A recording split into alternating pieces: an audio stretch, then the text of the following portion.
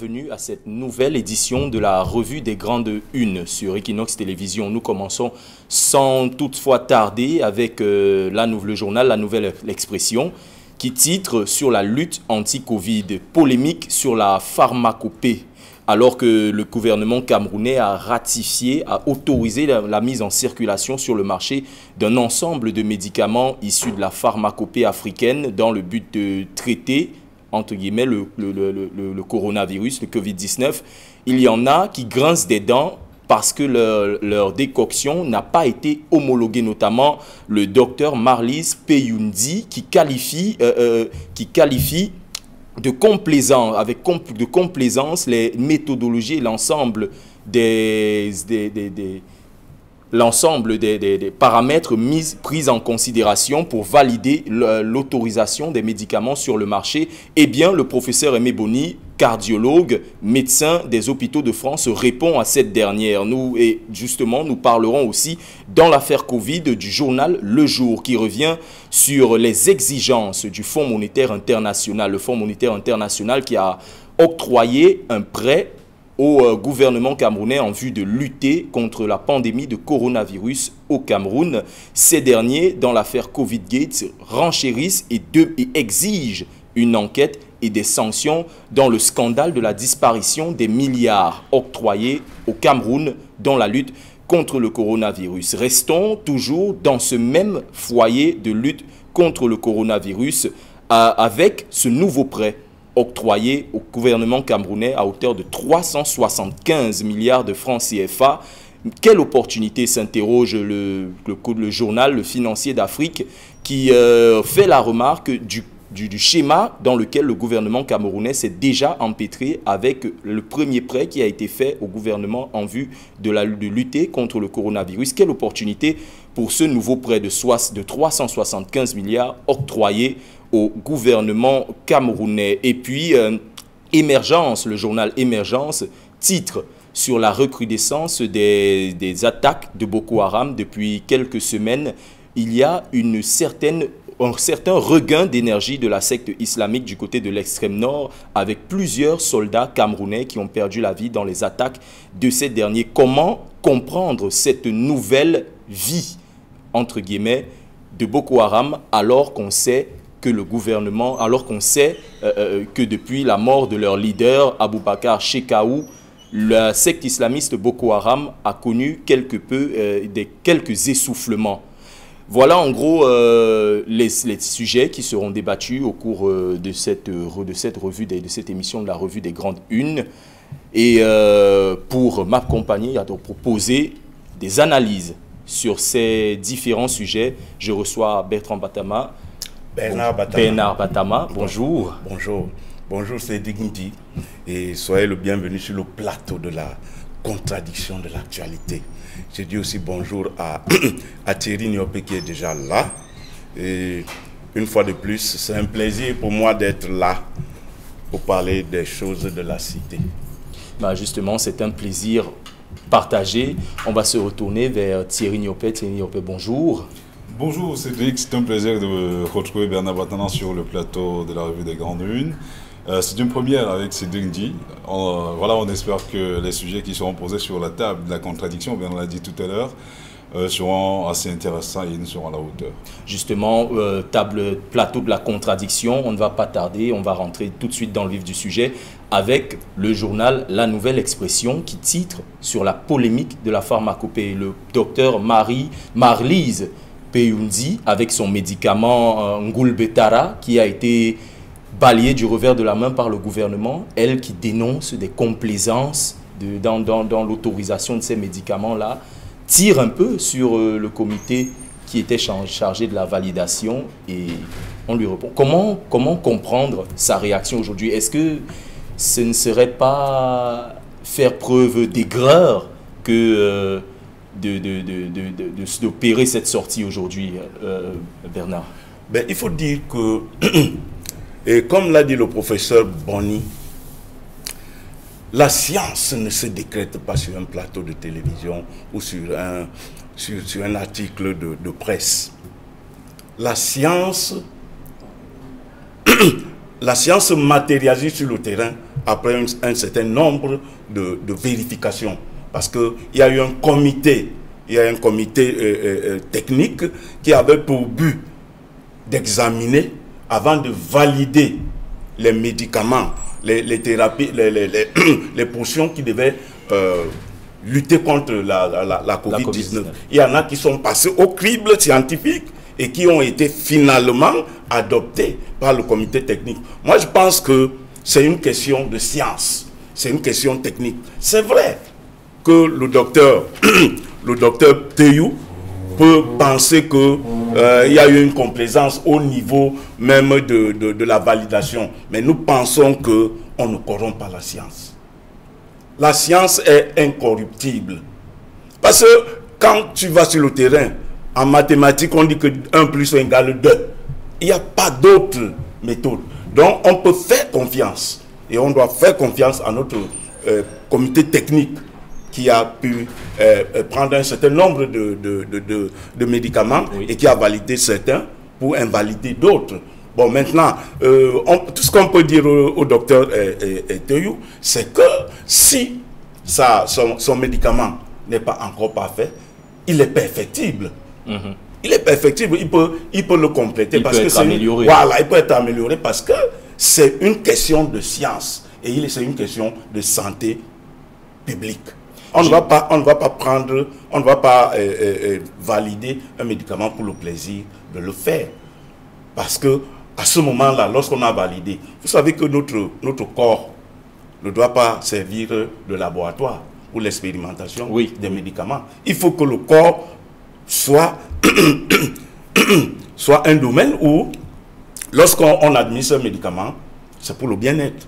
Ce n'est pas pour servir de Justement, le professeur, Aimé, le professeur Aimé Bouni, cardiologue, médecin euh, des hôpitaux de France, a décrète avoir fait un certain nombre de recherches, notamment sur euh, le médicament du docteur Marlis euh, Peyundi, et n'avoir pas trouvé de référence scientifique suffisamment probante qui puisse justifier la validation euh, de son médicament comme étant comme faisant partie du protocole de prise en, de, prise en charge des, malades de coronavirus. Mais il reconnaît quand même que certains médicaments ont été validés de façon un peu complaisante euh, par le gouvernement camerounais. Comment comprendre ce jeu d'équilibrisme qu'il est en train de faire entre complaisance et arguments scientifiques pas assez poignants?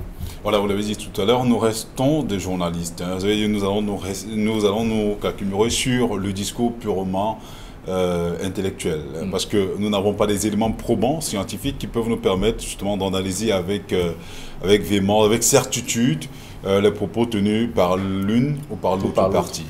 Donc le plus important pour nous est de comprendre qu'il existe il a été mis par le gouvernement euh, camerounais en comité scientifique pour étudier les différentes molécules qui participent à la composition d'un médicament. Beaucoup se sont... Vous vous rappelez qu'il y a eu une grosse polémique autour des médicaments qui ont été euh, élaborés par Monseigneur, euh, euh Et vous vous rappelez effectivement que au moment où tout le monde disait que ce sont des médicaments qui qui lutte contre la Covid-19, euh, le comité scientifique camerounais n'avait pas encore statué véritablement là-dessus, il n'avait pas donné son notion là-dessus. Et euh, poussé effectivement par les Camerounais euh, qui trouvaient guérison à travers en buvant ces... Il a fourni un protocole, il a fourni des, chiffres sur, sur, les malades. Au-delà des chiffres, il a montré effectivement qu'il y a eu une démarche scientifique qui a été abordée pour la mise en place de, cette, euh, euh, de ce protocole-là. C'est la raison pour laquelle, Ben l'a dit tout à l'heure, le corps humain ne devra pas être un terrain de prédilection pour les tests, euh, des expérimentations de ces chercheurs-là. Il faudrait effectivement qu'il y ait des protocoles. Vous vous rappelez toute cette guerre qu'il y a eu autour de la lutte contre la Covid avec euh, les dossiers chloroquine, avec la chloroquine. Justement, la guerre des laboratoires euh, pharmaceutiques. Voilà, euh, sur le plan mondial. Et vous vous rappelez effectivement de la sortie du, du, professeur Didier Raoul, vous vous rappelez effectivement de toutes les contradictions qui sont nées à côté de cela, au point où on a dû même le mettre en débat du côté de la France. C'est pour dire que la guerre des médicaments, la guerre des laboratoires, la guerre de la pharmacie n'est pas une guerre que tout le monde peut percevoir. Il y a des intérêts mafieux à l'intérieur, il y a des intérêts euh, gouvernementaux à l'intérieur. On ne saurait le dire avec exactitude. Maintenant, si le comité scientifique qui a été mis sur pied par le gouvernement camerounais euh, constitué de nains scientifiques pour Comme elle épouser effectivement les propos de, euh, du docteur Marlise euh, Peyoundi. Euh, je ne peux pas le dire avec autant de zèle qu'elle. Mais je peux me rapprocher quand même du professeur Aimé Bouni, donc l'expertise est avérée en matière de cardiologie, pas seulement au Cameroun. Donc, il estime qu'il y a eu complaisance au niveau euh, des autorisations, des validations de certains médicaments. Je n'en sais pas grand-chose, mais toujours est-il que je crois que quand il y a des contradictions comme celle-là, les scientifiques devraient s'asseoir pour essayer de questionner ensemble ces euh, éléments-là pour, que pour laisser triompher la science et non des intérêts égoïstes ou égocentriques des uns et des autres. Justement, au-delà du nanisme scientifique, on va dire Alors, je, je, voulais le dire, Lolo. Euh, la, science est essentiellement dynamique. Alors, Elle évolue. Bah, oui, oui, parler de nanisme scientifique, ce n'est pas un compliment pour des scientifiques. Non, nous pensons que la science étant essentiellement dynamique, il faudra que les produits qu'on a proposés, c'est-à-dire que les molécules qu'on propose pour lutter contre la COVID-19, passent au crible justement de la critique scientifique, parce que la science évolue. Et nous pensons aussi que euh, la thérapie du docteur Teyou, c'est une thérapie qui est perfectible. C'est une action scientifique qui est perfectible. Tout ce qu'elle peut faire, au lieu de parler de nanisme scientifique, c'est de, euh, de, de, de parfaire son produit, remettre, en, question son remettre en question son produit pour qu'il soit adapté, pour qu'il nous apporte euh, le bien-être. Justement, restons euh, toujours dans cette actualité de Covid-19, mais cette fois-ci d'un point de vue économique avec euh, le jour. Le jour qui titre euh, le FMI exige une enquête et des sanctions quand on connaît le gros scandale dans l'affaire Covid, dans le, le, scandale du Covid Gate dans lequel est empêtré le gouvernement camerounais. Plusieurs ministres sont, dans le collimateur le FMI aujourd'hui renchérit en exigeant une enquête et des sanctions. Est-ce que euh, ce n'est pas un peu mettre un boulet à la jambe de, certains ministres que de dire, que d'exiger, que d'exiger ça alors qu'on sait que le ministre de la Santé déjà est auditionné toujours dans le cadre de cette affaire de Covid-Gate Alors, il faut savoir que le FMI, dans son programme, dans ses programmes de, de, de prêt, insiste sur un domaine particulier, la gouvernance. Oui. La gouvernance, c'est l'une des conditionnalités que pose le FMI avant tout accord. Et il faut aussi noter que dans le cas actuel, euh, il y a une confusion chez, les... Il y a deux genres de prêts, de programmes du FMI pour le Cameroun. Hmm. Le premier programme, c'est un programme spécial pour la COVID-19, c'est un très spécial. Il y a un programme pour venir en aide lorsque les membres du FMI, les pays membres du FMI sont confrontés à, des catastrophes ou bien à des, à des catastrophes imprévues ou bien à des pandémies comme celle du COVID-19. Et pour ce programme, il y a eu un prêt spécial. Ce prêt spécial euh, remonte à, je crois, 180, 180, 180 milliards. Et c'est par rapport à ce programme que le FMI exige une, enquête, claire. Oui, oui. Comment a été géré cet argent, ces 180 milliards qu'a reçu le gouvernement camerounais Parce que jusqu'ici, il n'y a pas de lisibilité. Il n'y a pas un rapport circonstancié. Il n'y a pas un rapport détaillé de ce qui de, de, de, de l'utilisation de ces fonds. Maintenant, il y a un autre deuxième prêt qui rentre dans le cadre de la facilité élargie de crédit. De crédit Un autre deuxième fait qui a été octroyé au gouvernement camerounais dans le cadre de la relance économique. Oui. Et, le conseil d'administration, je crois qu'il s'est tenu le 29 euh, juillet dernier, qui a euh, octroyé un prêt, une ligne de crédit de 375, 375 milliards. De 355 milliards. Et 96 milliards ont été décaissés. Là, c'est pour la relance économique. C'est pour la relance économique ou, pour nourrir la croissance. Voilà les deux Voilà les deux, prêts qu'a eu le Cameroun de par le FMI. Mais justement, euh, Thierry Niopé, est-ce que euh, ce n'est pas un peu s'acharner sur, euh, sur, ces, sur ces personnes aujourd'hui empêtrées dans le scandale Covid-19 quand on sait déjà que l'affaire des 40 milliards, mutation attitrée dessus, Manaouda Malachi, les 40 milliards, en référence au compte des mille et unis, Aladdin et les 40 voleurs, c'est pas un peu euh, c'est pas un peu lui mettre un coup de massue sur la tête à ce moment-là? Non, je pense pas. vous, êtes tellement fait que les Camerounais eux-mêmes hein, demandent qu'il y ait une justement, sorte de transparence hein, autour de la gestion des fonds Covid parce que justement c'est l'agent qui sera payé par le contribuable camerounais d'une manière ou d'une autre.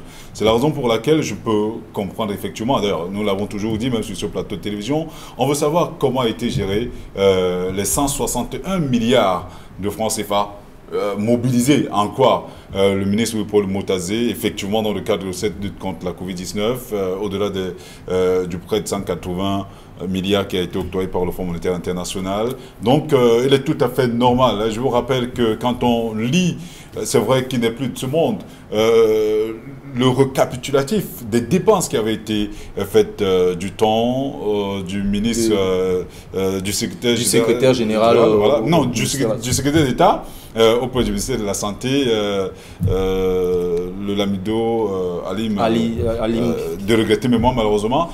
enfin, il n'est plus là pour se défendre. donc quand, quand, on lit, hein, quand on parcourt ce document, on a de quoi se poser mille une questions. Parce qu'il y a des dépenses quand même farfelues à l'intérieur. Et c'est la raison pour laquelle, quand les Camerounais qui ont eu euh, malheureusement a parcouru, heureusement ce document, euh, se rendre compte qu'il y a ces dépenses-là, il y a mille et une raisons de se poser euh, des questions tout à fait logiques, normales. À quoi a servi ces 40 milliards de francs CFA? Le ministre est auditionné là-dessus, le docteur Manaouda Malachi, il est tout à fait normal. Il, faut qu'il se défende, il faut qu'il dise exactement à quoi a servi cet argent. Rappelez-vous du scandale de Medellin. Jusqu'à présent, on continue à demander des comptes là-dessus. Donc, cela fait partie justement de l'argent qui a été développé débloqué par le ministre euh, ou par le ministère euh, de la Santé publique. Je ne reviendrai pas sur tous, ces sur tous ces marchés de gel hydroalcoolique, de masques. Justement, avec des entreprises euh, qui se sont créées en l'espace de, quelques, de quelques jours. où on vous dit effectivement que des cadres du ministère de la Santé avaient leurs petits frères dans la gestion, en fait, dans, dans ces marchés publics qui ont été donnés à l'emporte aux pièces, parfois au, au, gré à gré face à l'urgence, on avait compris du ministre le Paul Motazemé, il est tout à fait normal de se poser des questions. Donc je peux pas, je comprends pas pourquoi vous parlez d'acharnement à ce niveau. C'est normal, c'est logique. Et Bernard est revenu longuement sur les différents aspects euh, de ces, de ces prêts-là, de, ces 180 milliards et de ces 375 milliards qui viennent d'être euh, octroyés à la faveur du conseil d'administration du Fonds monétaire international qui s'est tenu euh, à Washington. Bernard l'a dit tout à l'heure, le 29 j'ai dernier. Donc il est question effectivement que l'on dise aux Camerounais que voilà, l'argent qui soit débloqué sera reparti comme tel. Il ne faudrait pas attendre effectivement euh, que euh, que le ministre ou le premier ministre du gouvernement, euh, le docteur John Gouté, euh, mettre en place tout un dispositif de partage, de distribution de cet argent-là. Il faut aller vite parce que l'économie camerounaise a besoin de reprendre du poil de la bête. Euh, heureusement qu'elle n'a pas aussi, elle n'a pas dangereusement chancelé contrairement aux autres économies dans le monde. Donc, euh, mais il faut quand même s'inscrire dans une dynamique évolutive. Il faut également aller très vite parce que en réalité, l'économie n'attend pas, tout comme la mort pour ce qui est de la lutte contre la Covid. Justement, euh, Thierry Niopé, vous, euh, euh, Bernard, Bernard vous avez Non, il, faut dire que dans le cadre de la lutte contre la Covid, jusqu'aujourd'hui, le Cameroun a engrangé 161 milliards qui ont été mobilisés de façon domestique, c'est-à-dire au Cameroun, et puis 180 milliards. Ça fait au total 341, milliards, milliards dans la lutte contre la pandémie de la Covid. Je crois que c'est largement suffisant pour booster la maladie. Or, si cet argent a été utilisé suivant les règles de l'art, nous avons 341 milliards qu'on a mobilisés dans la lutte contre la COVID-19. Est-ce que la gestion de ces 341 milliards est perceptible par le Camerounais lambda? Justement, beaucoup d'entreprises se sont plaintes durant cette période sombre de, euh, de, de, de, leurs activités Beaucoup ont perdu leur, leurs emplois. Beaucoup également, ont dû, beaucoup d'entreprises de PME ont dû fermer boutique à cause de l'impact économique de la Covid-19 au Cameroun. D'où les questions, du, d'où les questions du, du- du contribuable camerounais. Mais où sont passés les Où sont les passés milliards? déjà les 341 milliards Et puis maintenant, par rapport à la relance économique, il y a cette facilité de crédit que vient d'accorder le, FMI au Cameroun. Et donc, 96 milliards ont été effectivement décaissés au profit de, la finance camerounaise. Nous pensons que par rapport aux, entreprises qui se plaignent d'avoir rencontré un marasme du fait de l'État, l'État du Cameroun pouvait prévoir des mesures pour rebooster, Pour pour, le financer. Parce que en réalité, cet argent que le FMI nous prête, c'est pour soutenir la La croissance, croissance économique. La croissance économique pour que, parce que c'est un argent qu'on va rembourser à long, à court, je sais pas euh, quel est l'échéancier de remboursement. C'est justement de toute qui- façon, justement cet ce qui argent est là pour financer, pour financer l'économie. Et il faut dire, et pour s'en féliciter, que euh, avec l'octroi de, cette facilité élargie de crédit, le, Cameroun devient une caution économique. Le Cameroun devient une destination économique. Le, marché camerounais devient de plus en plus attractif. Moi, je pense que ce sera une raison pour que cet argent doit financer l'économie vraiment financé. Parce que vous vous souvenez, quand l'OFMI parle de, de, de- de- de- des enquêtes, parce qu'il y a une condition importante que le FMI pose, la bonne gouvernance. La bonne gouvernance veut dire la gestion efficience Justement, et la dans ces, gestion accords- dans oui, ces accords-là, ce le fonds-là. gouvernement devait fournir Oui. des, des rapports détaillés, Oui. semestriels. Bon, il, ne sur- euh, s'agit pas, il ne s'agit pas de prendre l'argent du FMI et de d'utiliser dans le Bayam Selam. Nous pensons que cet, euh, cet argent du FMI peut faire en sorte qu'on ait un tissu industriel assis.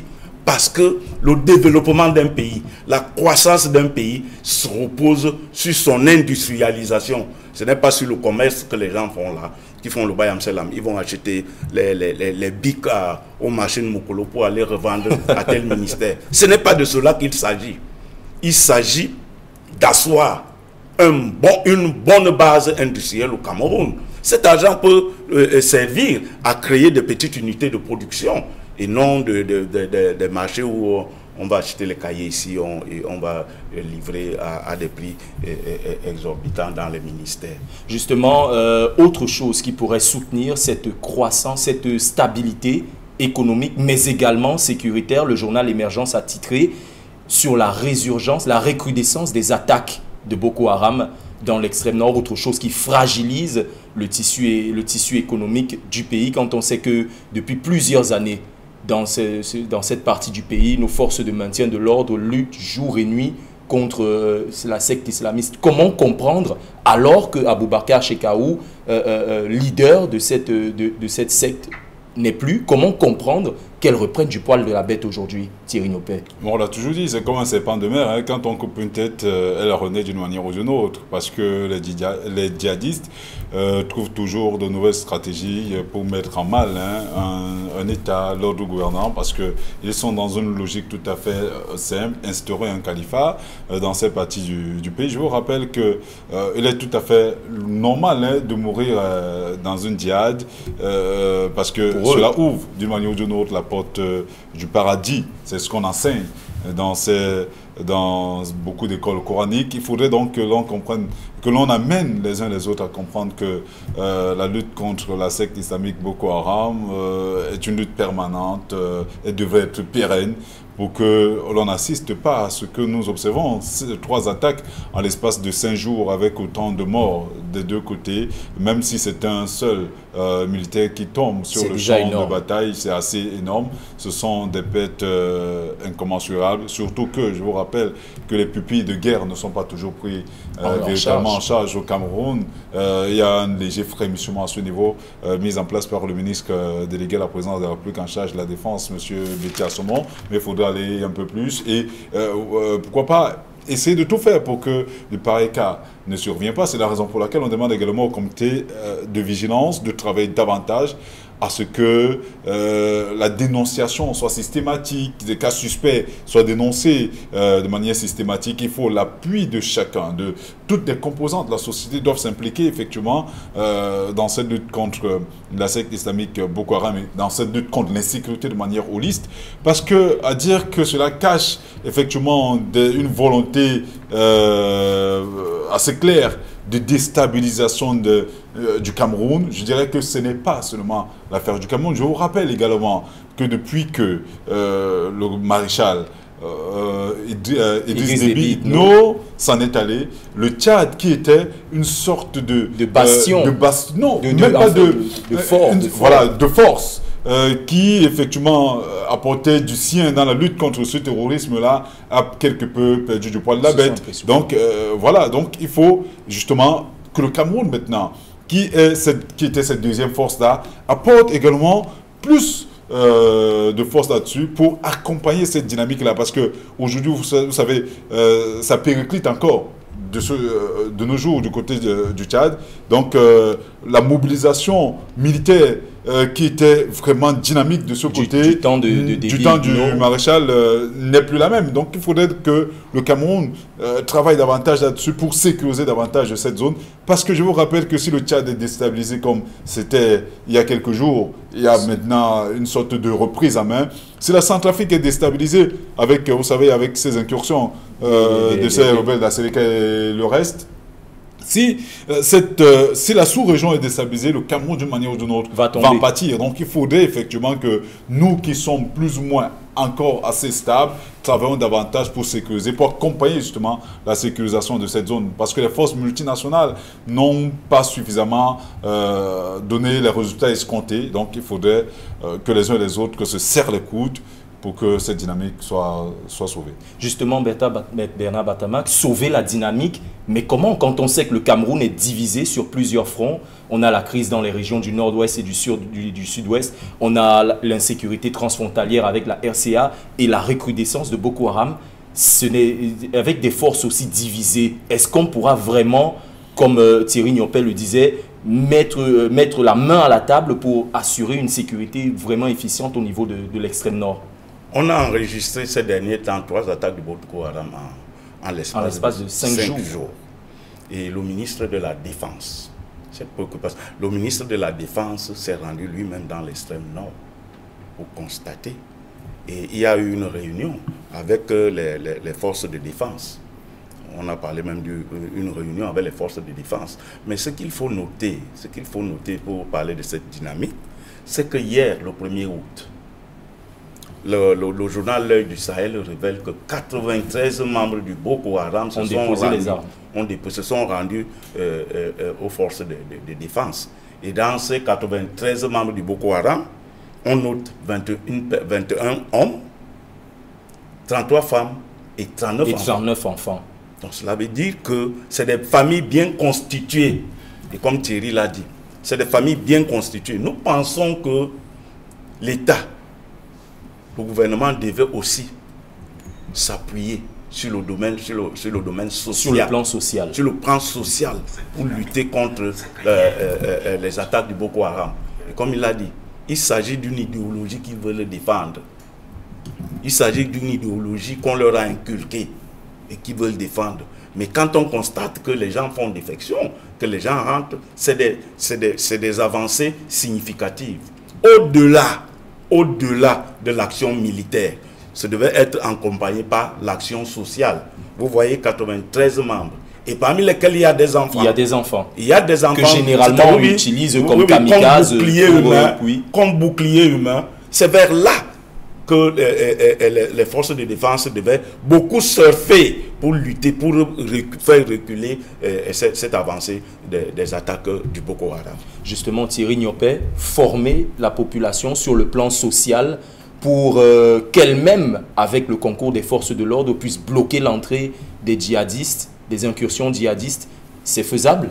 Oui, c'est possible. D'ailleurs, euh, l'initiative avait été encouragée euh, au plus fort de la crise contre Boko Haram. Je vous rappelle qu'il y a euh, pratiquement huit ans, il y a des groupes d'autodéfense qui sont même constitués. Le gouvernement les a encadrés d'une manière ou d'une autre. Maintenant, on ne dirait pas que le civil, que la formation militaire revienne à la base, même au niveau euh, de la formation dans des écoles. Mais il est davantage question, effectivement, de donner des moyens adéquats à ces groupes d'autodéfense, comme ça avait été naguère le cas. Il y avait des motos, il y avait euh, d'autres petites choses comme des albalèques. Il faudrait que l'on aille, effectivement, euh, à ce niveau pour permettre à ces populations d'assurer une véritable autodéfense. Enfin, parce que, vous savez, sont des gens qui se fondent facilement au sein du corps social. Bien, on l'a dit tout à l'heure, on retrouve des enfants, des femmes, euh, euh, des chefs de famille à l'intérieur. Donc, on ne sait pas, généralement, qu'un enfant vous approche, parfois avec euh, un plateau sur la tête, vous ne pouvez pas imaginer que c'est une bombe ambulante. pareil pour les femmes dans leur euh, dans leurs vêtements euh, typiques aux femmes du Sahel. Vous ne pouvez pas imaginer ce qu'elle peut euh, garder à l'intérieur, dissimuler. Donc il faudrait que l'on travaille davantage pour que les populations aient cette éducation de la dénonciation quand il y a quelque chose de suspect, quand il y a quelque chose qui ne va pas. Quand on, quand on ne remarque pas un visage, euh, au sein de la communauté, il faut dénoncer. C'est en cela justement qu'on participera à accompagner le gouvernement dans la lutte contre l'insécurité de manière générale. Oui, il y a aussi la structure qui a été créée, la, commission de réarmement et la remobilisation que l'État a créée. Moi, je pense qu'il devait, il ne, doit, ne va pas attendre sur place pour dire que bon, c'est quand les gens font défection. Non, il devait susciter. Il devait susciter. On devait trouver des moyens, de trouver des moyens pour intéresser ceux-là qui sont... Parce qu'ils sont entre deux, les, les, les, populations sont entre le marteau, le marteau de Boko Haram et, et l'enclume. Non, il faut que le, la commission de, se démobilise elle-même et aille à la rencontre. À, la rencontre des, des, des, des, ceux, des, djihadistes pour leur expliquer le bien fondé. C'est un peu risqué, non? Ben oui, il y a, y a des moyens, il y a, y, a, y, a, y a des négociateurs de, de, de conflits. C'est même déjà fait. C'est pour, ça que vous, entendez euh, qu'il y a des gens qui ont rendu. Il y a des négociateurs de conflit. Il y en a qui le font. On a même euh, euh, créé des, des, gens qui sont des, négociateurs dans le. Non, moi je pense qu'on devait, on devait aussi surfer au-delà, au-delà, en plus de l'action la, de armée. On devait vraiment surfer sur l'action civile. Très bien, merci Bernard Batamac d'avoir été avec nous. Merci Thierry Niopé. C'est avec euh, ce, message, ce message, aller vers les djihadistes pour pouvoir susciter cette adhésion au désarmement et à la réhabilitation de ces derniers que nous mettons un terme à cette, à cette édition de la revue des Grandes Unes. Mesdames et messieurs, merci d'avoir été des nôtres. Les programmes se poursuivent sur Equinox Télévision.